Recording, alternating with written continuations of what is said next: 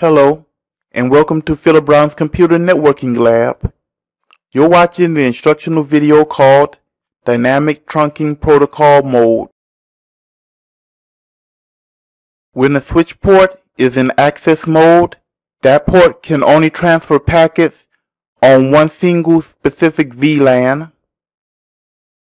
When the switch port is in trunking mode, that port can transfer packets from numerous VLANs or even all VLANs.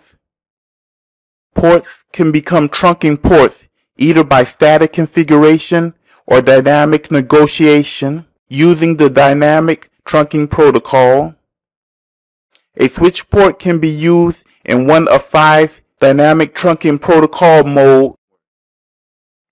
The access mode and trunking mode are static modes in that it does not matter what mode the connected switch is in, it will still stay in access or trunking depending on which it is. The dynamic desirable actively negotiate trunking with the other side of the link. It becomes a trunk if the port on the other switch is set to trunking dynamic desirable dynamic auto mode. Dynamic Auto passively waits to be contacted by the other switch. It becomes a trunk if the other end of the switch is a trunk or dynamic desirable mode. I do not consider non-negotiate to truly be a real mode like these others. It is only used when the interface is in the access mode or trunking mode. It simply does not send dynamic trunking protocols to the other switch to negotiate whether it should be in access mode or trunking mode. Now let's look at the commands that we would type into the switch to control if it's an access or trunk interface. We have four main commands. They are switch port mode access, switch port mode trunk, switch port mode dynamic auto, and switch port mode dynamic desirable.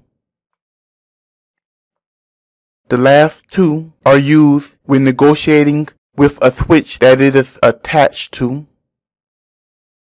Both switch port mode access and switch port mode trunk are when you know which mode you want the interface to be in. Switch port mode access is for when you have end devices such as computers and printers.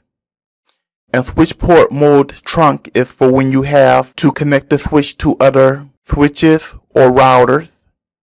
If you choose the first two, you can decide if you wanted to negotiate with the other side or not negotiate. When I'm setting up a switch port interface, be in access mode, I normally would use the switch port mode access command with the switch port no negotiate command. And when I want it to be in trunking mode, I'll use the switch port mode trunk with the switch port no negotiate command. Though it's a bit more simpler to just simply type in switch port mode access or switch port mode trunk by itself. Normally I would use the access ports starting with the beginning port to near the end port and I would set up my trunks at the very end being the last two or the last four interfaces. Now let's look at the, all the possible combinations that dynamic trunking protocol can use between two switches. Horizontally, we have switch 1, and vertically, we have switch 2. Viewing this will allow you to get a better idea of what will happen to an interface between two switches using the various modes.